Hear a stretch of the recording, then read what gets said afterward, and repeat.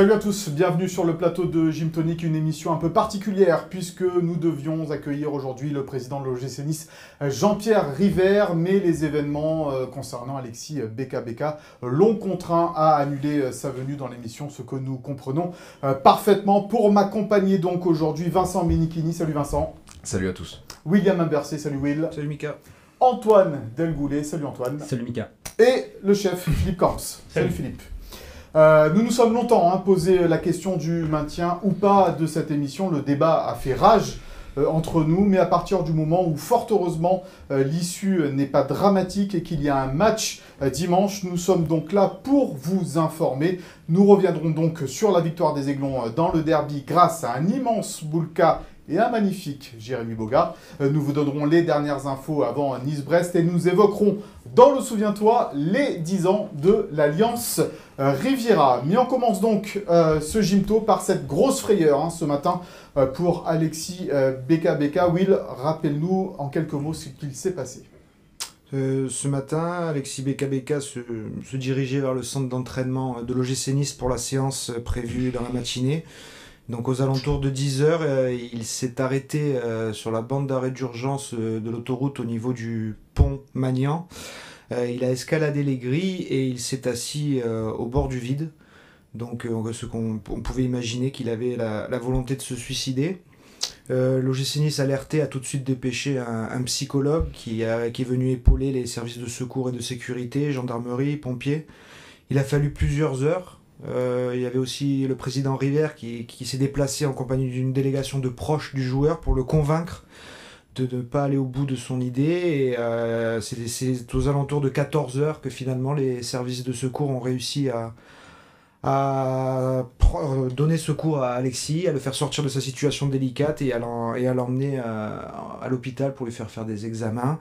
Et aujourd'hui, on peut dire, enfin à cette heure-ci, on peut dire que Alexis BKBK est sain et sauf. Voilà, ne comptez pas évidemment sur nous pour commenter ce qu'il s'est passé ce matin, sur les raisons ou pas. Nous n'en savons rien, nous n'irons pas faire des conjectures euh, là-dessus, nous allons juste vous donner lecture du communiqué du club euh, de euh, l'OGC Nice par l'intermédiaire, eh bien par la voix de Jean-Pierre River. On va découvrir dans un instant ce, ce, communiqué. Nous sommes avant tout soulagés que tout se soit bien terminé aujourd'hui pour Alexis, il a été pris en charge. Nous continuerons de respecter le secret médical et nous demandons à chacun euh, d'en faire de même et de respecter sa, vie privée. Nous sommes à son soutien ainsi qu'à celui de l'ensemble du club. Vincent, nous aussi, nous sommes derrière Alexis Vega Vega et nous lui apportons tout notre soutien ainsi qu'aux membres de sa famille. Bien sûr, on pense exclusivement à, Alexis qui traverse des, moments forcément compliqués et à l'ensemble de ses proches. Euh, c'est une épreuve euh, délicate et mais la vie continue, l'issue est, positive et, ce qu'on souhaite, c'est que dimanche, il y, ait une, il y ait une fête parce qu'il y a un match et que ses copains lui rendent euh, le sourire euh, avec, euh, avec des buts, comme il en avait mis des très beaux, notamment un à la Lance Riviera un soir d'août. Parce que, parce que voilà, il faut le faire, il faut le faire pour lui parce que, parce que certainement qu'il en a besoin. Et, il faut que l'ensemble de la famille rouge et noir, et, dans ces moments-là, j'ai envie de dire que nous aussi, on fait partie de, de cette grande famille, et, on a envie voilà, que, que les joueurs euh, euh, le fassent pour lui, et qu'on le retrouve dans les prochaines semaines, voire dans les prochains mois. Euh, avec ce maillot niçois et pourquoi pas en mai prochain qu'il soit avec ses copains pour fêter une place euh, en Coupe d'Europe. Voilà, c'est tout ce qu'on peut lui souhaiter et on pense très fort à lui, vraiment. Voilà, et pendant que tu parlais, on a revu ces images exceptionnelles de son but contre le Maccabi Tel Aviv qui offrait une qualification euh, à l'OGC Nice dans euh, les phases de poule de l'Europa League conférence. conférence. Ouais. Exactement. le barrage. contre Maccabi Tel Aviv. C'était contre le Maccabi Tel Aviv, effectivement, ce but d'Alexis Beka Beka, à qui, encore une fois, on pense très fort. On va revenir à présent sur un épisode un petit peu plus joyeux. C'est euh, eh bien cette victoire de l'OGC Nice euh, dans le derby face à l'AS Monaco. Une victoire arrachée, un but à 0 dans les toutes dernières secondes euh, de ce match avec William, puisque tu étais au Stade Louis II. deux arrêts magnifiques, deux arrêts en tous les cas cruciaux de Marcin Bulka sur penalty et ce but d'un Jérémy Boga qui venait de sortir du chapeau on peut dire qu'il y a un peu tout eu dans ce match-là. Euh, il y a eu euh, une première mi-temps très intéressante euh, du côté de l'OGC Nice. des, des occasions même pour marquer euh, qui n'ont pas profité à Sofiane Diop notamment. Et puis en deuxième mi-temps, enfin, et d'abord il y a ce penalty déjà pour, En le, première pour la, mi-temps. en première mi-temps pour l'AS Monaco, premier exploit de Marcin Bulka, magnifique. Et là en deuxième mi-temps, c'est un Monaco un peu mieux, qui, qui revient, Nice subit un peu plus, deuxième penalty. Et là, euh, franchement, on ne le sentait pas arriver parce qu'une fois c'est bien, mais alors deux fois, Bulka encore à la parade face à Balogun. On va dire que les pénaltys sont pas très bien tirés, mais il fallait les sortir. Et là, euh, quand alors qu'on se dirige vers un match nul plutôt logique et plutôt bon pour le gym, puisqu'il avait réussi à rester, euh, à préserver sa cage inviolée face à la meilleure attaque du championnat, finalement c'est un super sub, Jérémy Boga, qui réalise un exploit individuel fantastique et qui donne la victoire au gym dans le temps additionnel, euh, extraordinaire. Alors, on aura un débat, hein, bien sûr, sur euh, Marcin et sur Jérémy Boga. Mais avant cela, Antoine, j'aimerais t'entendre sur ben, le fait d'avoir battu et le Paris Saint-Germain et l'AS Monaco euh, sur deux journées de championnat consécutives. Il y a eu Strasbourg juste avant, donc ça a fait trois victoires consécutives euh, pour le gym. On avait des doutes, on n'en a plus aujourd'hui. Bah, On n'en a plus. Après, je pense que c'est euh, jouer contre Paris et jouer contre Monaco, c'était euh, c'était un jeu euh, en fait parfait pour l'OGC Nice parce qu'ils ont joué en contre et c'est là que, que Mofi se régale. Euh, ça m'a fait penser un peu au match euh, sous l'ère Didier Digard contre euh, Marseille et Monaco, je crois, justement l'année dernière, les deux qui se suivaient, enfin ou pas loin. Et ça m'a fait penser à ces matchs-là. Après, euh, il faudra voir maintenant avec un. euh, quand tu vas dominer des matchs contre des équipes en- entre guillemets euh, plus faibles, quand tu vas avoir la possession, on va voir si, euh, si là, euh, on va voir si Nice, par contre, son jeu collectif euh, va pouvoir vraiment se mettre en place et, va pouvoir aussi faire les différences autrement qu'en contre. On va regarder les stats de ce euh, Monaco-Nice donc sur cette victoire 1 à 0 euh, des Aiglons avec une possession en faveur de l'AS Monaco, même si elle n'est pas aussi supérieure qu'on aurait pu le penser avant la rencontre, mais dans les tirs, Nice euh, euh, est devant. Euh, on ne va pas parler de, victoire logique, Vincent, pour l'OGC Nice à Louis II, parce qu'il y a eu ces deux pénalties évidemment arrêtés par Marcin Boulka, mais comment dire? Il y a eu de la maîtrise quand même malgré tout dans cette équipe niçoise. Mais on le disait la semaine dernière, il se passe un truc clairement dans cette équipe. Et moi, ce que je note surtout, c'est l'état d'esprit de ce groupe-là. On les sent animés d'une grande confiance et surtout cette envie de se faire mal ensemble. Et quand on veut euh, espérer de grandes conquêtes, bah, c'est souvent l'état d'esprit qui permet d'aller très haut. Et, moi, c'est surtout ce qui me plaît dans cette équipe en ce moment, avec des garçons, voilà, Martin Boulka exceptionnel dans sa cage, une charnière centrale, on, on le dit depuis des mois, euh, à un niveau euh, exceptionnel et devant euh, notre ami Youssouf euh, capable de jouer deux postes à la fois euh, par moment tu as l'impression comme l'a écrit euh, justement Will euh, aujourd'hui de voir Michael Essien euh, il sait tout bien faire il a mis une tête sur, le, sur la barre et devant comme l'a dit Antoine dès que les espaces se libèrent euh, quand tu as Terem Mofi bah, la vie est, est plus simple. Et euh, tu as un remplaçant qui réalise un exploit. Il faut rappeler aussi quand même bien aidé par nos amis monégasques hein, qui lui ont euh, pas ouvert la porte, mais notre ami Singo, qui fait réalise un super Ah, début de saison, il lui a dit Bon, vas-y, moi j'aime bien le duel, mais par contre, quand c'est comme ça, Celui qui me marque le plus sur l'action, c'est Matazo. Parce que Ah ouais. Matazo, il ferme pas du tout la porte, il regarde partir Boga, et puis voilà, Ouais. merci, au revoir. Et pourtant, euh, Philippe, l'AS Monaco avait mis un petit plan anti-OGC Nice quand même, en titularisant Zakaria en défense centrale à la place de Maripane pour justement contrer Ouais. la vitesse euh, de Terem euh, Mofi. Mais malgré tout, on va dire que c'est aussi la victoire de Francesco Farioli sur ce match-là?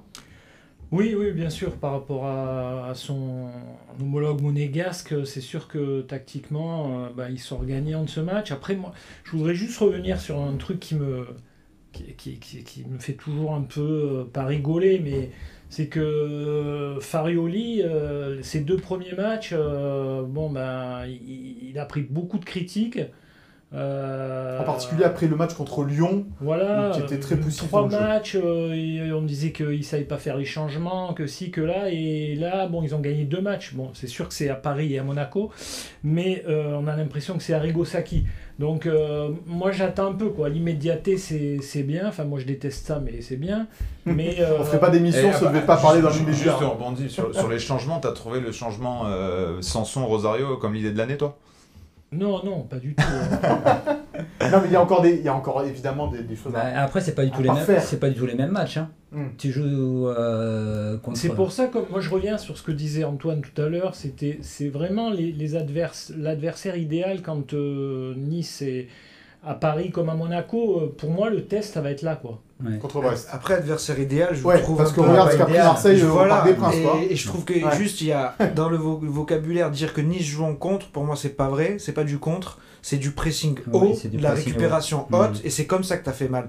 À Paris, c'est Tojibo qui va presser Mbappé dans les 30 derniers mètres, ça fait but. À Monaco, les 3-4 occasions de pour Sofiane Diop Mofi, c'est des récupérations hautes. Donc c'est pas forcément Ouais, du le contre, le- c'est aller presser l'adversaire chez lui, c'est pas la même Le chose. troisième but et le deuxième but à Paris, c'est quand même des le contres. vocabulaire du football. Le football de transition. C'est Voilà. pas que du football de contre. Non, Mais- mais, non, mais ça, ça, ça. Mais sur ça les deux matchs, au final, oui, Nice, c'est franchement plein de belles choses, mais ça peut quand même aussi tourner. Basculer euh, dans l'autre sens. Parce que si Dembélé il joue pas avec, euh, avec les lunettes C'est de ça. Gilbert Montagnier, euh, Et, et, pas Ba- le même et, match. et Balogun non plus. Et, bah, et quand même, voilà. Oui, t'as des- t'as- t'as- Monaco a raté deux pénalties, hein, ça n'arrive jamais. Saison, t'es obligé aussi d'avoir un peu de réussite pour que ça fonctionne. Ouais, bien sûr. Non, Non, mais bah, c'est- après, par contre, ils sont animés. C'est vrai, comme disait Vincent tout à l'heure, on sent qu'il y a un souffle, qu'il y a quelque chose quoi, dans cette Mm. équipe qui, qui est en train de se passer. Et euh, la fin de match à Monaco, la joie, euh, le- le- le- le- l'union, la communion entre, entre les joueurs, on sent qu'il y a. D'ailleurs, on, en- on en revoit certains euh, posés sur la photo. On dit, souvent, les séquences, sont, certains, on, en- on les voit moins. Et là, tout le monde était là. Oui, c'était Jim Ratcliffe. Ouais. euh, Jean-Pierre River, Dave Riceford, alors là, Jean-Claude c'était tous Blanc. euh, Jean-Claude Blanc. Ouais. C'était. euh, Ils étaient tous là pour la photo. Euh, allez, on passe au focus de cette semaine.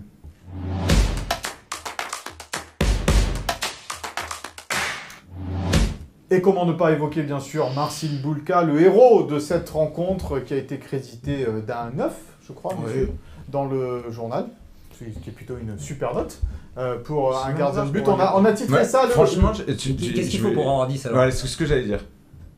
Mais c'est un bon débat. il ça- faudrait 3, Ouais. peut-être. C'est très dur déjà de mettre 10 à un joueur de champ. Alors à mettre un gardien Bon, un 10, gardien. Perso, moi, je, je- ça aurait pu être 10. Il y a débat. Il y a le, débat. le c'est 10 vrai. c'est dur. Je crois que je l'ai mis qu'une fois dans, dans ma carrière le 10. En gardien Avec un À gardien thème. Non, un gardien, ça n'arrive jamais pratiquement. Ouais, Ben Arfa. Carlos Juste- Eduardo, quand on en a mis 5. Ouais aussi. Ouais.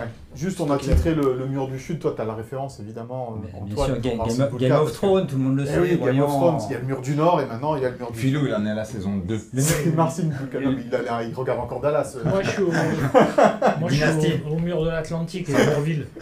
Santa Barbara. pas mal, celui-là. Le mur, Euh, du, le mur du Nord, c'était Schmeichel. Et le mur du Nord, c'était évidemment Casper Schmeichel. Euh, justement, sur Marcin Bulka, euh, tu- la, la transition est bonne, et donc je vais te donner la parole. Antoine, est-ce qu'il est libéré du départ de Casper Schmeichel pour toi? Com- Complètement. Après, en plus, il n'a même pas besoin de libérer puisque son coach l'a mis titulaire euh, tout de suite en début de saison. Alors, euh, oui, si on, si on regarde par rapport à la saison dernière où effectivement euh, Sch- Schmeichel était, était titulaire, euh, là, euh, là il, a, il a été choisi déjà par le coach, donc déjà ça avait- ça l'avait libéré dès le début de la saison. Et puis là, même que son dé- le départ peut-être en, en plus de Schmeichel qui n'est plus là physiquement, ça l'a peut-être euh, complètement mis en confiance. Et est-ce que l'arrivée de Salvatore Sirigu, euh, mon cher Will, peut le pousser à se dire attention, quand même, malgré tout, même si Casper est parti, derrière, j'ai un ancien numéro un peu costaud euh, qui peut euh, peut-être me pousser à faire bien. Je suis pas sûr que Marcin ait besoin de ça. Euh, je pense qu'il avait surtout beaucoup de frustration qui s'accumulait depuis la saison dernière vis-à-vis de Casper Schmeichel. Donc là, le fait qu'il soit parti Casper, c'est déjà la meilleure nouvelle, plus que l'arrivée d'un Salvatore Sirigu, qui est bien pour le club, qui est bien pour euh, au cas où il arrive quelque chose à Marcin. Mais euh, je pense pas que ça se fasse partie des paramètres favorables à l'éclosion de Marcin Bulka. Je pense plutôt que c'est la confiance du club et euh, un, plan mieux cadré, mieux tracé. C'est lui le numéro un qui fait qu'il s'exprime euh, euh, en totale liberté. Les stats de Marcin Bulka depuis le début de la saison 2023. Euh, 2024, euh, seulement euh, 4 buts encaissés, 3 clean sheets depuis le début de la saison, c'est-à-dire qu'un match sur deux, l'OGC Nice finit sans prendre de buts, en partie grâce à Marcin Boulka, deux pénalties arrêtés sur deux. Philippe, c'est des stats de début de saison de Dominique Bartelli, hein. Alors, tu, tu fais bien de me lancer sur Baratelli parce que je vais, je vais juste rappeler euh, un événement. Je sais que je vais me faire étrier parce que Il en avait arrêté 4 dans le même il match. avait arrêté 4 pénalties sur 5 lors d'une séance de Tir au pénalty. Ah, de tir au-. Ah bon? Bah non. De tir au but. Non. Un Gorbella Oui, dimanche avec ses copains. Euh, non, mais pas- tu ne peux pas comparer. termine C'est Philippe qui a tiré le premier. Lors d'un d'un PSG Tour euh, en demi-finale de la Coupe de France. Il Et- avait arrêté 4, pénalties sur 5. Pour jouer un Bruno, D5. Bruno Valanconi aussi, il avait arrêté je sais pas combien de pénalty quand il jouait quand il avait fait beaucoup avec Exactement. Bastia en Coupe de avec France. Bastia et après Voilà. avec Nice. Oui, mais c'est une séance de tir au but, c'est pas la même chose euh, que dans le jeu, évidemment, Ah bon. euh, pour le résultat euh, Il me que c'est le même tir, c'est un tir au but. quoi. C'est des tireurs différents en plus, euh, on va pas comparer quand même Baratelli et Boulka. Bah. Surtout pas. Pas encore. Mais Doumé, peut-être qu'il pourrait plus jouer en, en 2023. Ça, c'est une attaque gratuite qui est destinée non pas à Dominique Baratelli, mais on embrasse Dominique à Philippe Camps. Après, Je l'ai plombé l'émission. il a- là, tu vas, là, tu peux passer à la compta. Euh, allez, l'autre héros de cette rencontre, c'est Jérémy Boga, bien sûr, qui est euh, sorti donc euh, du banc pour aller inscrire ce but magnifique en, en fin de match, même si vous l'avez dit, messieurs, il y a euh, peut-être à redire sur le placement de la défense monégasque et de Singo et de Matazo euh, en particulier. On a titré Boga plus qu'un super sub. Alors un super sub, pour ceux qui ne le savent pas, c'est un super remplaçant maintenant, substitute pour sub. Euh, pas mal. Donc du coup, voilà, est-ce qu'aujourd'hui, Will, je vais m'adresser d'abord à toi, Jérémy Boga qui a été acheté 18 millions d'euros quand même à l'OGC Nice cet été, qui est arrivé un petit enfin qui a commencé blessé, hein, et qui là marque ce but à, à- Monaco, a gagné une place de titulaire pour toi. Euh, je pense pas que tu gagnes la place de titulaire sur un but, mais tu gagnes une, place de titulaire sur la longueur. Et je pense que son but, sa bonne entrée, fait écho à déjà sa très bonne entrée au parc. Euh, J'avais trouvé dans les derniers instants, il avait amené de la vitesse, amené de la percussion, euh, permis à l'OGC de garder un peu plus le ballon euh, et, et d'éviter de trop subir dans ces dernières minutes. Euh, c'est un garçon que quand on met 18 millions dessus, c'est considéré comme un titulaire. Alors après, il est arrivé un peu. euh, il sortait d'une saison déjà très difficile la saison dernière. Il se, il se blesse lors de la première journée. Euh, à l'entraînement, Francesco Farioli ne retrouvait pas totalement le Jérémy Boga qu'il connaissait de Sassuolo. Donc il y avait plusieurs choses à mettre un peu en place. Et c'est ce qui se faisait ces dernières semaines, je pense. Euh, il gagnait en confiance, il gagnait en, en physique, conditions physiques. Et ces deux entrées font, voilà, font écho à, ce signe, à ces signes positifs qu'on voyait à l'entraînement. Donc je pense que ça, plus ça, plus ça, fera de Jérémy Boga un titulaire pour ce week-end. Tu nous détailleras évidemment tout à l'heure ça dans ta compo euh, probable. Euh, Vincent, il faut dire aussi que bah, Sofiane Diop, il a eu les occasions dans ce match pour marquer euh, des buts, euh, des occasions qu'il n'a pas su saisir en tous les cas, et ce qui fait que lui, Jérémy Boga, dès qu'il est entré, il a saisi sa, sa chance.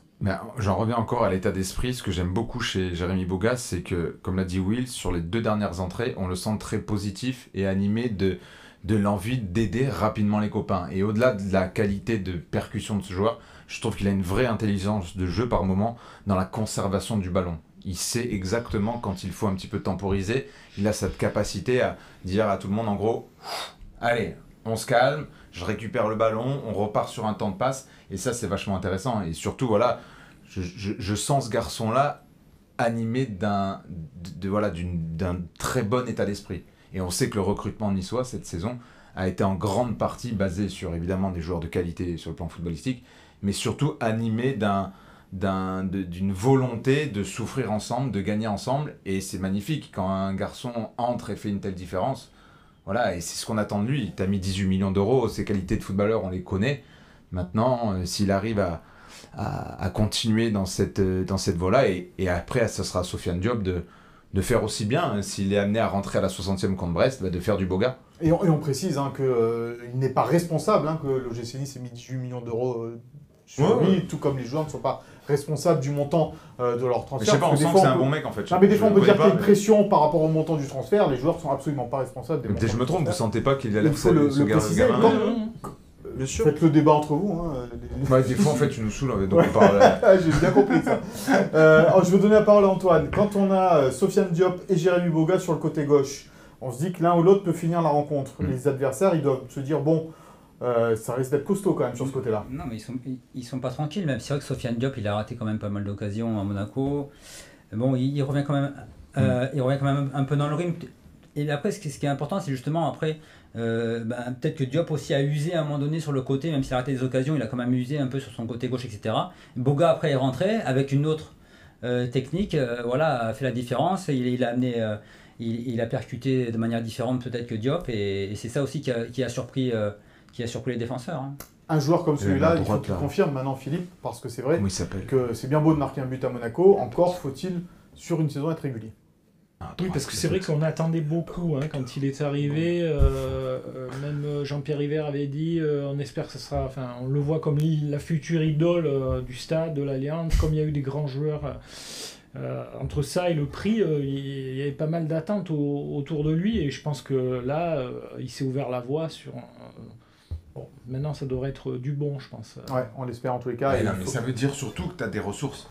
Oui, Et c'est le ça. petit Baldé euh, sur le côté droit Mais là. tiens, ouais, un petit mot là sur le- l'entrée d'Aliou Baldé euh, justement dans Ouais, cette euh, rencontre. Très rapide, hein, Will. Hein, euh, Bah, Mobilette. connaît. ouais. Une mobilette, il va à Mm. 2000 et beaucoup de culot, c'est ça que ouais. j'ai aimé aussi. Premier ballon, il a poussé, il est allé sprinter à fond. Bon, il, il fait un mauvais, une mauvaise conduite Ouais, de balle, elle, elle sort. Mais il a déjà envoyé un message à son, à son homologue fais gaffe, je vais à 2000 à l'heure. Ouais. Donc euh, reste bien sur tes appuis parce que sinon tu vas, tu vas tomber. Et si c'est pas Baldé, au pire, c'est Bonani. Ouais, mais le problème c'est ça, j'allais vous dire, euh, Eh ouais. quid de, de Badreddine Bonani compliqué ça. Ouais. Pour moi, c'est le, le- ça va être un enjeu dans les prochaines semaines. Ouais, on Parce que Bonani, tu peux être sûr que cet hiver, il y a un club qui va venir qui va dire bon ben il joue pas, on veut le récupérer. Bon, on ouvrira le débat euh, sur Bonani euh, si jamais ben, sa situation euh, c'est à, Fa- c'est à Francesco Farioli de. devient un, un petit peu compliqué, comme c'est le cas un peu quand même malgré tout. Oui. Euh, en ce moment, voilà ce que vous pouvez dire donc sur ce Monaco-Nice. On va passer. Oui, Non, moi je voulais juste dire aussi que je- j'ai apprécié le- la, la réaction de Todibo après euh, le match en équipe de, avec l'équipe de France où il avait. Un match de costaud. Voilà, avec- sur deux matchs. voilà Ouais. il a fait deux matchs entre Paris et Monaco euh, énormes. Mm. Euh, il a été énorme au Louis II, il a mangé euh, Balogun et après ce qui s'était passé en équipe de France. euh, enfin, je, je- je lui tire mon chapeau parce qu'il a eu une réaction de bonne. Ouais, mais il faudrait, Mais- il faudrait que Dante, Dante joue en équipe de France. Mais pour, Pour que pourquoi tu bien. dis ce qui s'était passé? Parce que bon, il fait une erreur, mais c'est c'est globalement positif ce qu'il fait en équipe de France, non? Tu trouves pas Cette erreur pour toi, elle, contre En tout cas, on va pas Ouais, refaire le je- débat, mais j'avais pas trouvé en équipe de France comme je le vois Non, avec l'OGC son match. euh, pour beaucoup, cette erreur. euh, Moi, je suis pas d'accord. Pour moi, il rate pas son match complètement. Et, et je pense même que lui-même, de lui-même, il trouve pas qu'il a raté son match et qu'il est même plutôt positif de son expérience en équipe de France. Et moi, je vais donc aller plus loin que Philippe, qui a entièrement raison. Il a été énorme sur les deux gros matchs, mais il est énorme depuis Lyon. Depuis la réception de Lyon, il est énorme et il est déterminé. Et je pense qu'on va avoir un Todibo énorme pendant toute la saison. Et Après, contre, je, je rejoins Philippe sur le match d'équipe de France, il est vachement moins libéré en Allemagne qu'au Parc des Princes ou Louis II. Bah, parce qu'il a Oui. eu euh, Pavard à côté de lui et Saliba qui, Saliba. Mais qui c'est normal, euh, deux morts c'est normal. même, hein. Encore heureux que pour ta première sélection, Ouais, tu ouais, sois pas. euh, Oui, dans un fauteuil. Voilà, mais on peut pas. Après, bon. Euh, en tous les cas, C'était Todibo qui a été récompensé, C'était pas messieurs. le Todibo vers son histoire. Récompensé cette semaine puisqu'il fait partie euh, de la Team of the Week. J'adore parler de ça. Eh oui, Son fils. Mais il y a aussi. Ah, mais du coup, je l'ai acheté. Euh, pour le nouveau jeu de foot qui vient de sortir, dont on peut pas. T'es bon, toi, FIFA Hein? Ah, Ça s'appelle plus FIFA, d'ailleurs. pour l'instant. Euh, voilà donc ce qu'on pouvait je dire. suis buté haut, toi, non? Enfin, non, ça c'est pour toi, celui euh, Sur ce match Monaco-Nice, on va passer aux abjims, les coulisses d'ailleurs de cette victoire de l'OGC Nice au Stade Louis II euh, par les caméras d'OGC Nice TV. Une fois que tu as goûté à l'OGC Nice, c'est pour la vie.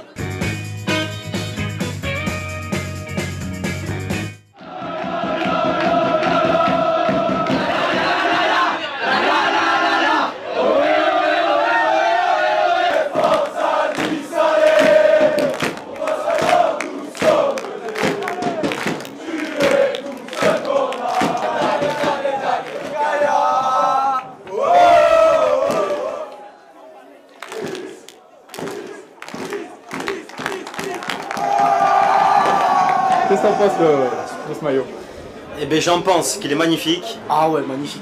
Ouais, t'as kiffé? Ah, magnifique.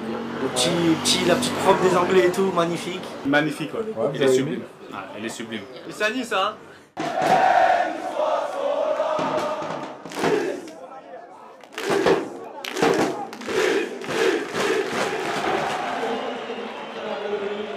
Le club a lancé un tirage au sort tous les salariés ont pu euh, participer. On est vraiment derrière l'équipe, on est très content d'être là. Pour l'instant, on a fait une bonne première mi-temps. Il y a eu des moments un peu difficiles et on peut vraiment remercier Boulka, je pense, sur le, sur le penalty qu'on a concédé. C'est parfait, on rentre avec la victoire.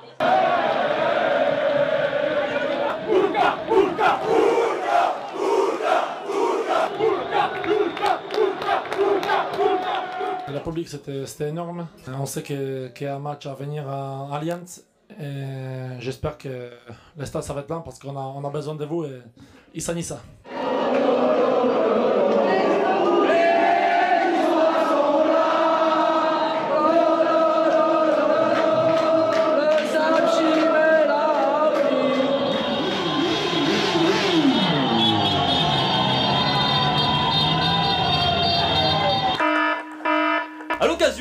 Chers amis, des 10 ans de l'Alliance Riviera, l'OGC Nice organise un grand concours de commentaires. Le principe, très simple, commenter le premier match de l'histoire de l'Alliance Riviera face à Valenciennes. De très très très belles surprises à gagner, et notamment une, le résumé avec votre visage et vos commentaires diffusés sur tous les écrans géants de l'Alliance Riviera avant le coup d'envoi de Nice-Brest. Voilà donc pour ce Zap Gym que vous pouvez retrouver en intégralité euh, sur les médias de l'OGC Nice. Euh, on va passer alors au match donc euh, de ce Nice-Brest dimanche après-midi. Alors à l'heure qu'il est, pour l'instant, eh bien euh, l'OGC Nice est deuxième et Brest premier, mais ça peut changer en fonction des résultats des matchs euh, de euh, samedi en particulier. Donc ils ne seront peut-être plus premier et deuxième à ce moment-là, mais c'est le cas avant cette journée de Ligue 1. On va d'ailleurs voir le classement de cette Ligue 1 en retrouvant donc l'équipe d'Éric Roy. euh, que tu as eu, oui, le téléphone Non. Pas encore, non Non, Je l'ai Vincent, Vincent. c'est Vincent qui l'a eu, Ouais. excuse-moi. Et tu vas nous dire un petit peu ce qu'il ce qu'il- ce qu'il a dit, Eric Roy, euh, entraîneur de cette équipe euh, de Brest, qui est donc devant euh, l'OGC Nice en cas de victoire. Donc les Aiglons passeront leader, seul leader du classement. C'est- Ça a failli être le cas la semaine dernière. Euh, après la victoire à Monaco, mais Brest a gagné. Euh, dans quel état d'esprit se trouve euh, notre ami Eric? Bah, vous le lirez dimanche dans Nice Ouais, Matin. c'est pour on est je là pour vendre des journaux. euh, donc, euh, j'ai pas envie de raconter l'intégralité de l'interview à nos lecteurs. Tu peux teaser un peu? Donc, ouais, ouais. Bah, je- j'invite tous les lecteurs à lire cet excellent entretien d'Eric Roy. merci. Qui, Tu as bien préparé cette qui, qui, qui, euh, qui est, Qui est- impatient de retrouver l'Alliance Riviera. Qui est un que habi- j'avais vu en tant que, que coach et, qui, en tant que niçois. et qui est un habitué de gym tonic. Ah ben non, non, c'est pas un habitué, c'est qu'on a surtout relancé la carrière d'Eric Roy. Exactement. dans le, Donc si tu es en train de dire si Brest est leader de Ligue 1 aujourd'hui, C'est grâce- à Jim Tonic. C'est grâce à Gym Tonic. Et d'ailleurs, la deuxième question, je lui dis, Eric, en un an, t'es passé de Gym Tonic au sommet de la Ligue 1. Et il était mort de rire. Il a dit, bah ouais, c'est grâce à vous, les gars. Donc, euh, non, non, c'était chouette. euh, parler de tout, de Pierre Lesmelou qui réalise certainement euh, le meilleur début de saison de sa carrière, qui est l'un des meilleurs joueurs de Ligue 1, tout simplement. Eric m'a dit euh, que c'est le garçon qui a récupéré le plus de ballons en 2023 en Ligue 1. Moi, je l'ai vu là contre Lyon. Il a encore été, mais exceptionnel. Il est monstrueux. Et Eric l'a replacé devant la défense. euh, au poste euh, qui était celui de- d'Eric Roy euh, quand il était joueur. Il me dit voilà, moi j'adore ce genre de joueur. Il met le pinceau, il organise.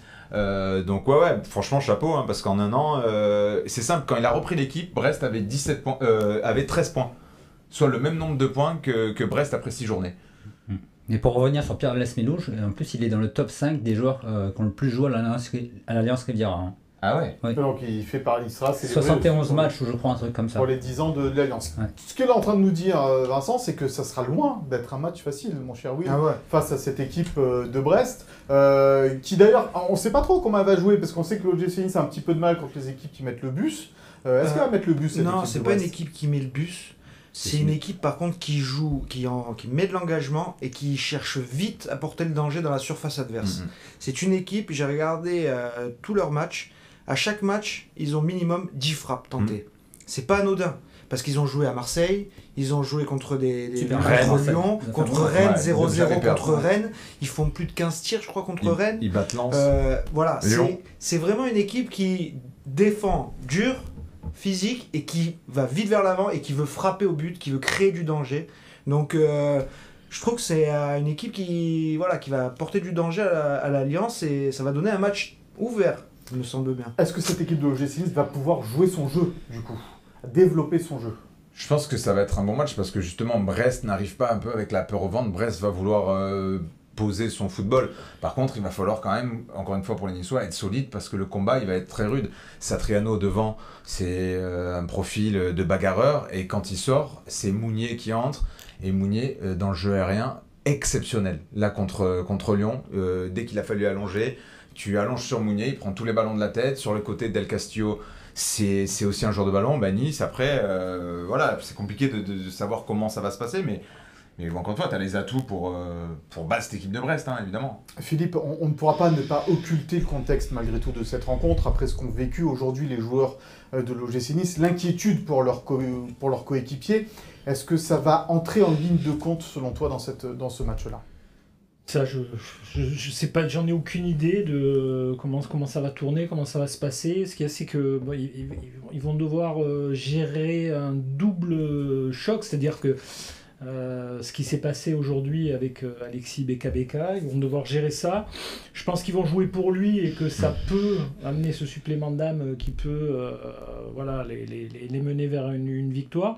Et puis un stade plein, aussi les 10 ans de l'Alliance, un événement. Bon, le club avait tout préparé pour que ça soit, ça sera un, un, bel, un bel événement. Mais c'est vrai que ça fait, euh, ça fait beaucoup de pression, beaucoup d'enjeux. Euh, premier contre deuxième. Euh, donc là, on, verra comment ça va tourner. Là, on peut, enfin, dire quelque chose avant, c'est difficile. bien sûr. On, connaît notre GC Nice quand il a attendu comme ça. mon cher Will, on se souvient de Bâle, on se souvient de, de, ces rencontres-là, du monde dans le stade, la, la fête qui peut se préparer, et au final, bah, ça fait flop. Comment ne pas faire flop là? Mais Le gym qu'on aime, il bable Paris, boit à Monaco et perd contre Brest. Euh, c'est le gym qu'on connaît. Alors là, euh, c'est. Justement, il faut qu'il nous fasse mentir. Oui, il faut qu'il nous fasse mentir. Après, pourquoi les... Si ce gym-là a les armes pour nous faire mentir, évidemment que oui, parce qu'il y a une dynamique depuis ce début de saison. Il y a, des... il y a, du... il y a un fil rouge, c'est la... cette solidité défensive. Hmm. Euh, mine de rien, ils sont toujours à 4 buts encaissant 6 matchs. Quand Face à joué... et Mounier quand même là. Ouais, mais puis t'as joué, as joué Monaco et Paris, t'as joué Mbappé, Dembélé, euh, Ben Yedder, ah, Balogun, et euh, t'as été solide. Euh, donc il faut rester dans cette dynamique-là. Et après, il faut être efficace devant le but. Et là, ah, c'est un peu sur ça qu'on va les attendre. Le Doran et Mounier, tu me faisais un peu la tête. C'est pas Mbappé et ah Dembélé, certes, mais c'est quand même deux très bons joueurs. c'est deux, très bons joueurs. Mais en fait, je pense que peut-être que Nice peut ne pas gagner, mais je les vois mal perdre. Parce qu'en fait, c'est vraiment très très solide derrière. D'ailleurs, c'est la seule équipe invaincue avec Rennes. Euh, de la Ligue 1, il faut le noter quand même. Hein, c'est pas, Effectivement. C'est pas quelque chose. Rappel des faits, Rappel des faits. Et pas dans, rien. Et puis, dans le contexte. et, puis, et, puis, voilà. Et puis, euh, Brest a un gardien qui peut des fois passer un peu au travers. Ah, il est fort quand même. Hein. Pas mal. Il est pas mal ce Il est pas mal, mais je trouve que des fois il se, il se, il se loupe un peu. Il est un euh, peu... Je trouve pas que ça soit pas très académique. sécurité. Mais, puis là, il va jouer à 13, hein, parce qu'ils vont jouer avec BKBK et le public. Hein, donc, surtout... moi, je pense qu'ils gagneront. Et surtout, si tu te mets la pression, pression là, la septième journée pour, euh, pour ce genre de match, Exactement. faut arrêter de jouer au foot. Hein. C'est trop bien ce match.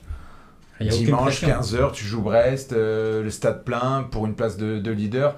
Il y a un enjeu sportif qui n'est pas non plus euh, de folie. Hein. Bien sûr que ce sera absolument symbolique d'être premier à la septième journée. Mais si tu te lâches pas là, tu te lâcheras plus jamais. Tu as un copain qui a vécu des heures autrement plus dramatiques qu'un enjeu sportif bah libérez-vous les gars, faites-vous plaisir. Et si t'en as un qui est fatigué à la 60e, tu fais rentrer Job, t'as Bonani, t'as Atal, t'as Lotomba. Ça y est, il n'y a pas. Moi, je sais pas, moi, je me dis que. Oui, je pense que quand, quand, tu es sur le terrain, t'as qu'une envie, c'est de jouer au ballon et tout donner. Et puis surtout dans ce contexte-là, pour le stade sera plein. on dit assez que le stade n'est jamais plein, je sais pas. Euh, Ouais, guichet fermé, a priori. Euh. hier, hier soir, ça s'approchait euh, bien des. On n'était plus qu'à 1000 places, euh, je pense. Des... C'est-à-dire au moins 35 000 personnes, c'est ça? Ouais, 34. 34 000 personnes. D'ailleurs, même ceux qui gèrent la programmation de, de, la Ligue 1, ils ont mis ce match dimanche à 15h. Il y a un mois, personne n'osait n'aurait parié sur ce scénario-là, non? Je sais pas. Premier deuxième qui s'affrontent. c'est l'heure de la compo probable.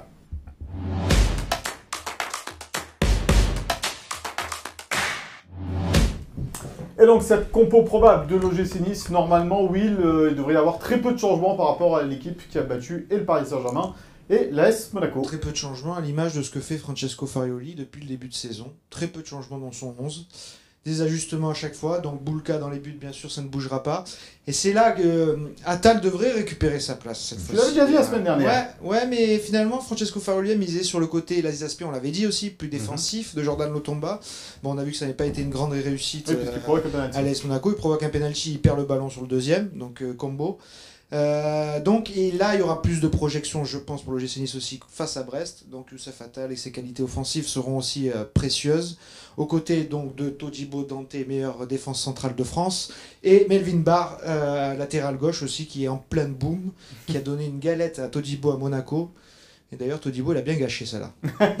le milieu de terrain. Milieu de terrain, le 3, celui-là, il bouge jamais avec Youssouf, le rock, euh, indispensable joueur, avec euh, Morgan Sanson et Kefren Turam. Morgan Sanson qui avait joué qu'une heure à Monaco. Peu surprenant parce qu'il avait fait une très bonne première mi-temps.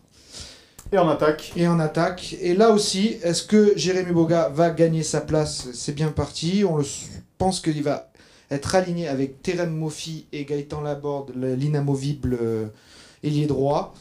Euh, voilà, ce qui redonnerait euh, cette compo-là pour Nice-Brest dimanche. Encore une fois, toujours aussi séduisante cette équipe. Parce qu'Eric Roy serait content Euh, de Oui, Eric Roy, il va suivre effectivement avec attention. Euh, mais il n'a pas besoin de nous, je pense, pour, Oui, oui. pour analyser la compo de l'OGC Mais Nice. Vincent, sur, Barre est mé- métamorphosé. Hein. ouais, sur Melvin Barr, Depuis Philippe que. Je sais la pas coupe, si ça. c'est Les je sais pas si c'est l'arrivée de Perrault ou quoi, mais. Il était déjà bon avant, mais il Non, mais il est vraiment. Il est Ouais. vraiment Non, mais métamorphosé, euh, je suis pas trop d'accord parce qu'il est, il, il s'est toujours bien battu. Après, il, Oui. avait, un, il, avait, il avait un problème de justesse dans les centres et parfois dans le placement. Et là, peut-être, bon, il a Ça, pro- ça fait beaucoup. Ouais, Ouais, gauche, mais, oui. mais là, là, là, la justesse dans les centres, c'est toujours pas ça de temps en temps, Non, hein, quand mais la même. hein. métamorphose, elle est dans ses projections, dans sa Ouais, justesse. j'ai dans- toujours trouvé qu'il s'était bien battu quand de même. C'est- quelqu'un qui se bat, qui n'a jamais rien. Alors ouais, il était moins réussite. Peut-être là, il est plus en réussite parce qu'il sent qu'il y a la concurrence derrière. Confiance, ouais.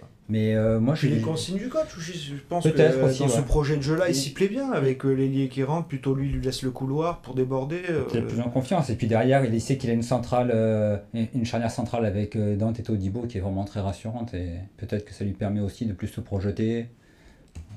Puis avec Youssouf derrière aussi qui, qui récupère. c'est- Ah, Youssouf, c'est exceptionnel. Toutes les semaines, on le dit ici, mais ce que réalise Moi- Youssouf Ndeye Chimier, Moi, moi, exceptionnel. moi, par exemple, je me rappelle à Saint-Laurent en PHB jouer arrière ben, en fait, j'étais- pas très bon, mais j'étais très bon quand il y avait des mecs qui étaient bons derrière.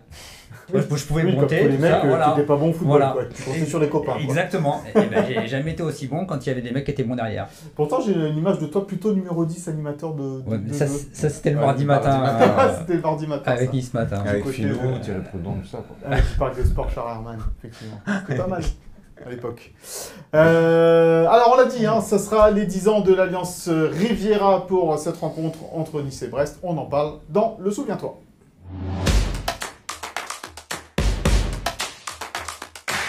Ah. Le Souviens-toi donc consacré à euh, l'Alliance Riviera, les 10 ans depuis ce match euh, entre Nice et Valenciennes, euh, victoire 4 à 0 des Aiglons, c'était le 22 septembre. septembre. Euh, 2013, Euh, tu y étais, Vincent? Il était, On y était tous, ouais. hein, Il y avait même. Philippe, c'est la seule fois où Ouais. il est venu à l'Alliance. Non, non, je me rappelle, je suis venu plusieurs fois à l'Alliance. Je pense qu'il était parti à la mi-temps. été T'étais venu pour des séminaires, pour des... Les séminous. Pour les Les 50, séminous. pour les 50 ans de Gym Tonic, les c'était la 50 deuxième fois. Des matchs, Non, mais j'étais là. J'étais là. Je même donner le coup d'envoi. je crois qu'il ouais. était parti à la mi-temps pour faire les pages, il me semble. Il était au café des Aiglons à Il a 13h30. hésité, il a- à 2h du match encore. euh, je me Non, rappelle, mon il- problème, il- c'est que des fois, je vais au Ré et Il il n'y a, rien. Et donc, euh, je vais à dimanche à 15h au Ré je me dis merde, je suis seul. Bon, on n'est pas là pour parler des aventures de Philippe Camps à l'Alliance Riviera, mais pour parler des 10 ans, évidemment, de, de, de, de ce stade. Euh, victoire 4 à 0 face à, à Valenciennes, avec Dario Zitanic qui était le premier buteur. Et ouais, on s'en rappelle tous, ce, ce penalty tiré par Super Dario, et cette photo euh, iconique de, de, de hein, l'Argentin. images. Gravé dans le marbre. Exactement, on se rappelle. Moi, je me rappelle surtout de, de l'avant-match avec bah, tous les copains des, des sports. On avait, on, a- on était allé sur le bord terrain et très rapidement, ça faisait, ça faisait un vacarme incroyable. Et surtout, ils avaient fait des feux d'artifice, des pétards incroyables. Et, et franchement, on avait, on était remonté en tribune. On avait la tête complètement, mais ça pétait dans tous les sens. Et je me rappelle surtout de l'ambiance du premier but de Dario et surtout du quatrième aussi d'Alexis Bozetti. C'était son premier en Ligue 1. Il a trop bien raconté encore une fois euh, Mm. cette semaine avec Will. Et, et- et je me rappelle après le match, c'est Didier Ligard qui nous avait dit bah, c'est bon, je lui ai tout fait et il fallait qu'il marque son Mm. premier but ce jour-là euh, contre Valenciennes. Et il marque un mauvais, euh, mauvais piqué euh, rate, ouais. façon Bozette. Et euh, c'était la, la soirée parfaite jusqu'à l'arrivée de, de Patou, hein, Patrick Bruel, Patoche. sur une idée originale de notre président qu'on aime tous, mais, mais Ouais, c'était on pas aurait l'idée de l'année. le confronter là-dessus. Ouais, mais il Bon, s'en explique. Dix ans, dix ans Ouais. après, il, il- voilà, il a, il, a, il a presque de la peine encore pour, pour Patrick. qui- Mais, moi, j'en- mais tu sais que moi j'en ai eu de la peine pour Patrick. Ouais, mais parce à que. ce moment-là, parce ouais. que Pro, t'es fan? Mais je- alors, c'est un chanteur effectivement que j'aime bien. Et, et je me suis dit, quand je l'ai vu répéter avant le match, je me suis dit, oh là là, la mauvaise idée. Moi, je, Oh, je me rappelle, c'était pas encore la grandeur, des, la, la tristeur presque des réseaux sociaux, mais on, je crois qu'on avait filmé en partant de l'Alliance Riviera, mais complètement désabusé. car il aimait le gym quand il était petit. Ouais, Ses enfants adorent le GC Nice. Mhm. Non mais le, Euh, le- le- aussi. le pire de tout ça, c'est que je, connais même des fans de Patrick Bruel, niçois, qui l'ont Qui sifflé. l'ont sifflé. Non, c'est ça. Peu Bah, on s'était dit rendez-vous Et donc, du coup, c'est vrai que c'est beau. Rendez-vous c'est. Patrick Bosso. T'étais chauve il y a 10 ans, toi J'étais- Pas encore Oui, oui, oui, si, si, si, déjà. Euh, L'Alliance Riviera qui a décidé de, titrer ce, match. On s'était dit rendez-vous dans 10 ans. C'est vrai? Ah, c'est bah oui, c'est un de nez euh, à, l'indiscret, c'est qui, c'est qui revient. à Patrick Bruel. Et oui, et l'indiscret, c'est que Patrick Bruel reviendra pour euh, ce match. Non, on rigole, quoi. Ce serait non, mais là je suis sûr. Mais que là, là, Vincent tout le monde. Ah, Tout ah, le là, monde À la. Jérémy serait génial. À la Jérémy Janot. Patrick nous Au dit non, début, il se faisait insulter, et après, quand il revenait. bien sûr, bien sûr. Ça serait géant quoi. ça C'est ça de le la panache. Ça aurait de la gueule. On aurait dû l'inviter d'ailleurs. Et si ça se trouve, ce sera la surprise, on sait pas. hein. Ouais. Mm. Il y en aura quelques surprises d'ailleurs euh, du côté de, de l'Alliance Riviera pour cette euh, rencontre et on sait que le stade sera bien rempli. Mais j'en profite, il est là, il y a Antoine pour euh, lui faire passe D pour la, la suite du Souviens-Toine. Ah non. Parce que le dernier qu'il avait effectué, on s'en rappelle tous, pas on avait passé un moment d'exception. Donc vas-y Antoine, tu peux nous dire le 11 de légende Alors tu vas nous donner le 11 des légendes de l'OGC Nice Voilà. euh, à l'Alliance C'est la coutume Riviera. quand il est là. On va. si tu mets sans Jack dedans, je te crois pas. Non, mais alors le 11 des gens, de toute façon, c'est merci à, à l'OGC Nice, hein, parce que c'est eux qui ont eu Alors l'idée, c'est les, internautes hein, qui ont voté. C'est les internautes sur, le, sur les réseaux du club. Mm. Donc, euh, on a rien, nous, au Nice Matin, là, on n'a rien inventé. Donc, c'était une très bonne idée d'ailleurs de, de, bah, du du club de, de- de faire ça. Donc, le 11 de légende, je vais aller très vite. Euh, donc, euh, Benitez euh, dans les buts, ben, c'est lui qui a fait le plus de matchs à l'Alliance Riviera. Donc, en charnière centrale, c'est deux joueurs actuels, euh, Todibo et Dante, euh, inamovibles. euh, euh, sur les côtés, euh, deux fusées. Donc euh, Ricardo Pereira, l'actuel euh, capitaine de Leicester en, en D2, que Nice d'ailleurs a essayé de faire revenir cette saison. Et puis, et Attal, qui malgré ses blessures, euh, ben, euh, laisse, euh, ben, on garde un, un très bon souvenir de ses accélérations qui sont encore euh, présentes euh, à l'Alliance. hein. Euh, au milieu, il y a un triangle magique euh, avec euh, bon, bah, Mika Seri. hein, on peut dire que Formidable. vraiment c'était le cerveau Magicien.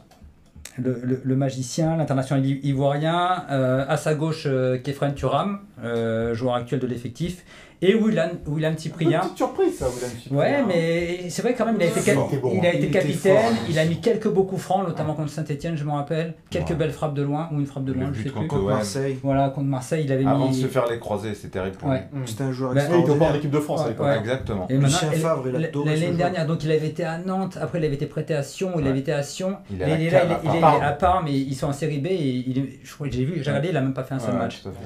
Et Voilà. l'attaque Et l'attaque, une attaque Bon, de bah. folie, euh, Ben Arfa, Balotelli et Zvitanic, Alors, il y a un petit débat aussi sur Darius Vitanic quand même malgré tout. qui a fait que 13 matchs en fait. Et oui, parce qu'il n'a joué que 13 À matchs l'Alliance. à l'Alliance. Mais il a marqué ce premier but, et puis Dario, c'est l'Argentin, c'est la Grinta, ça, ça représente. euh, À la San Cam- Plea a marqué je sais pas Ouais. combien de buts à l'Alliance Niçois. Riviera quand même. Qui a toujours Ah. eu une histoire un peu contrariée avec le public niçois. Oui, eh oui, toujours. Moi je trouve c'est un peu injuste pour la San Plea. Ouais, tout à fait. Ouais. Ça ressemble à- au passage à la Sainte-Claire. Même si j'adore Darius Vitanic. Un peu le mal aimé alors qu'il Non, mais Zvitanic, je pense que c'est le, c'est le coup de cœur des C'est pas le supporters. mal aimé, c'est juste qu'il fallait récompenser un peu quelque importants Mario Qu'est-ce toi. Philippe Euh, rien, moi c'est pas la génération Ouais, 70. ok, toi, euh, t'es le 11 c'est une équipe de dû baltringues. Will, la Bravo, présence bravo, de. Philippe. Euh, dans ce 11 de. Tu l'as entendu tu, tu, tu valides. T'as entendu ce qu'il vient de dire De quoi il, il a- il a- tu- re- Redis-le, redis-le, Philippe. Il avait là, il fait, il fait la. Équipe de, bal, de, de, de Baltringue. Carrément Ah ouais, D'accord, on en est là. Will, la présence de Darius Vitanic par rapport peut-être à, à la San Plea. Oui, non, mais c'est parce que Dario, avec euh, ses, C'est le premier but. ses buts marqués avant Auré, mais il reste dans, dans le cœur des Niçois un peu plus haut qu'à la Sainte-Pléa, parce qu'à la Sainte-Pléa, il, il a été beaucoup critiqué avant de vraiment convaincre. Donc euh, c'est juste pour ça, mais si on fait un, un 16 de l'OGC Nice, il y est à la salle dans les 16, euh, ça doit se jouer à peu. Après, pour moi, l'inamovible, c'est Mario. Ouais, par contre, Un Mario, moi, c'est Ben Arfa. Ils sont Moi, tous les deux d'ailleurs les bienvenus Mario. sur le plateau Gin Tonic. hein. Ben Arfa. Ben Arfa et Mario Balotelli. Allez, euh, La c'est meilleure de dur. vie. Comment je faisais entre son papa et sa maman. hein. Ouais, ça c'est- c'est c'est dur. On n'a pas encore défini quel était le plus grand joueur de l'histoire moderne de l'OGC Nice, mais il y aurait peut-être un match entre ces deux-là. Compliqué. Hein Compliqué. Et Un jour on se posera la question, tiens, ça fera. Et il y a Dante aussi, hein. Quand on aura l'occasion. Et il y a évidemment euh, Dante. Euh, Rappelle-toi, aux 50 ans, euh, quand tu as demandé à Kefren Turam quel était le meilleur joueur de l'OGC Nice de ces dernières années, il a dit, il a dit Dante. Hein. On fait un tour de table. Tu dis qui, toi, Philippe? Euh, Dante. Balotelli. À thème. Ben Arfa. moi. Ben Arfa. 3 pour Ben Arfa. On a gagné sur ce plateau. Euh, celui qui n'est pas dans l'équipe type, tiens, de, euh, du 11 de l'Alliance Riviera, mais qui fait partie des buteurs euh, de ce premier match, eh bien, il a un petit message pour nous. alors, évidemment, il adresse une petite question au président Rivière qui aurait dû être avec nous aujourd'hui, mais on On va lui faire suivre, Jean-Pierre. on va faire suivre. Coucou les amis, petit message pour vous souhaiter un bon match ce week-end à l'Alliance. Je sais qu'on fait, on fait les 10 ans du stade. Malheureusement, je ne pourrais pas être là. J'aurais vraiment, vraiment aimé venir, mais mais c'est trop compliqué pour venir, j'essaierai de venir plus tard. Euh, je me souviens, je me souviens de ce premier match il y a 10 ans en arrière, le temps passe vite. Euh, j'ai marqué le deuxième but, premier but c'était Dario sur penalty. Je me souviens, j'ai cette photo qui est gravée euh, à vie dans ma tête où euh, après le but, il monte euh, sur l'espèce de, de, pancarte derrière et, et moi j'arrive, je le tiens par derrière pour pas qu'il tombe. Et derrière, c'est euh, derrière, c'est moi qui marque le, le deuxième but, donc le premier Français à avoir marqué dans, dans ce stade-là. Donc c'est vraiment une fierté pour moi. Et j'ai annoncé la fin de ma carrière il y, a, y a, deux semaines, je crois. J'ai tout fait pour que pour que Jean-Pierre River me reprenne à l'OGC Nice pour faire une dernière saison, mais mais ça n'a pas collé. Donc euh, voilà, non, petite blague. En tout cas, je vous souhaite euh, vraiment un bon match. Vous me manquez les Niçois et à très vite. Ciao, ciao voilà le message super sympa d'Éric Botéac, buteur donc lors de cette rencontre, tout comme euh, Christian Bruls, hein, parce qu'on n'avait pas donné tous les buteurs de ce Nice-Valenciennes, qui vient donc d'arrêter sa carrière. Euh, Will, Eric euh, 36 36 ans, et qui est à Chypre. Ouais, il était à Chypre. Et il a oublié aussi de dire qu'il a marqué, mais hors jeu. il n'y avait pas la barre à l'époque. il, est, bien hors jeu sur le Il aurait dû être refusé s'il y avait eu effectivement la barre. On embrasse Eric évidemment et on l'attend aussi ici de pied ferme sur le plateau de Gymtonic, peut-être euh, cet hiver, pourquoi pas, une fois qu'il sera revenu de Chypre. C'est l'heure du pour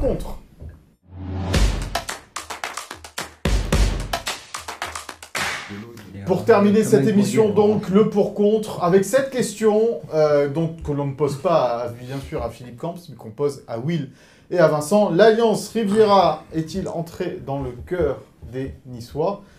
C'est une vraie bonne question, mon cher Will, et on va attaquer par toi. Alors, je suis moins radical que notre légende Philippe Camps, mais euh, je vais dire non parce que le Ré euh, reste euh, le stade numéro un pour beaucoup de Niçois, je pense, et dont je fais partie. Parce que, juste pour une histoire de souvenir, d'émotion, parce que le football, ce sont des émotions, et le Ré, il y a tant de matchs, tant d'événements qui, qui, sont restés à jamais gravés dans mon cœur euh, de supporter, dans mon âme d'enfant devant le football et je pense au barrage contre Strasbourg, je pense à la montée, à la remontée en, première division, je pense au tour d'honneur de la Coupe de France en 97 quand il la ramène à Nice. C'est tous ces matchs-là, toutes ces, émotions-là, la proximité aussi avec ce stade qui était en plein cœur de la ville, où euh, on se souvient encore d'où on se garait, où on jetait la bagnole pour pouvoir juste aller euh, se jeter un sandwich et aller euh, dans le Ré, dans le stade du Ré, à l'Alliance, voilà, un stade qui a été quand même mal pensé et je pense que ça lui fait défaut encore aujourd'hui dans le stationnement, dans la circulation, dans l'accès. Mais aussi, je tempère en disant que l'avenir pourra faire peut-être de l'Alliance le stade préféré des Niçois. Vincent oui, il m'a tendu une perche. Il parle des enfants, de, nos souvenirs, et je pense que les enfants d'aujourd'hui ont la chance de vivre des matchs à la Lance Rivera.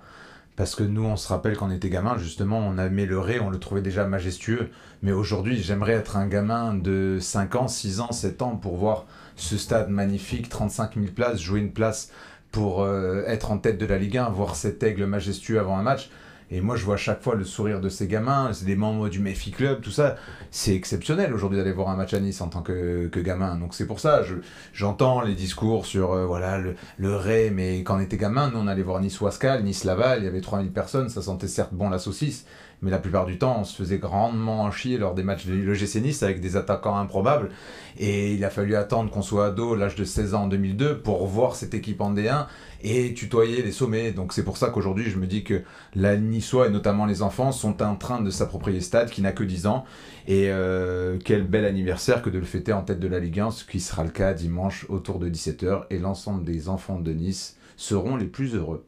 Antoine eh ben, c'est simple, hein, quand, si on, euh, Gin Tonic existe toujours dans 20 ans, il y aura d'autres journalistes, donc des, des, plus jeunes, et ils diront complètement qu'ils adorent la Il n'y aura plus Philippe, non? Il sera, il sera consultant euh, à la rubrique Nécro. Et euh, il, là, c'était, euh, ils, nous, ils nous reparleront, eux, ah, tu te rappelles de Nice-Valenciennes, tu te rappelles de Nice-Naples, tu te rappelles du Nice-Saint-Etienne quand c'était qualifié en Coupe d'Europe, tu te rappelles du Nice-PSG en, en, en 2017. Euh, qui était fabuleux le 3-1 avec Balotelli. Pas le 3-3 de Sanjak. Hein. Non, non, pas de 89. voilà, non, mais ça, ça, ça, ça c'est. Eux, eux, ils parleront de ça, mais c'est parce que c'est une question de génération, tout simplement. Donc, tu es en train de dire que Will est un vieux con, quoi, en gros. Non parce, que je suis, non, parce que je suis encore plus vieux que lui, et peut-être encore plus con. Donc, euh... c'est, de dire ça, c'est. euh, Non, c'est parce que moi je suis d'accord, je suis d'accord avec Will, que moi, c'est, moi aussi, c'est le Ray qui reste dans mes souvenirs marqué, comme Philippe et, et sûrement comme À Vincent chaque aussi. époque, ses souvenirs.